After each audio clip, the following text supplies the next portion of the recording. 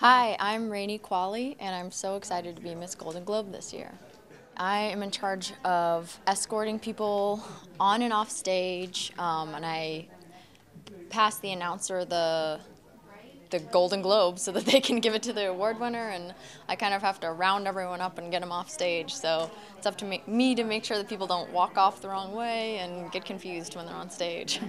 I wasn't very nervous until this morning when I had rehearsal. Um, in all the chairs, they have these whiteboards with the celebrities' pictures and their name, and even just seeing everyone's picture, even though they're not really there, it was intimidating. So, but I'm really excited. I, I think I'm I figured things out, what I need to do, and hopefully everything's gonna go well.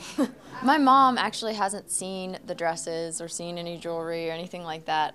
Um, I was working with a stylist and I found out this afternoon I actually get to wear two dresses, which I'm really excited about. Um, so mom will be just as surprised as, as everyone else to see me tomorrow. I started to give her advice early on about what she was going to wear and stuff like that, but then I realized that she really was making wise decisions on her own.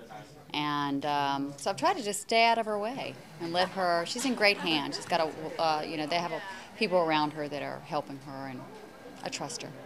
It's a lot of responsibility, and and I'm I'm just hoping she keeps it fun. That we manage to have a good time, and I tell her I'm in the audience and we're connected, and we're and her boyfriend's going to be there too. They were right there for her.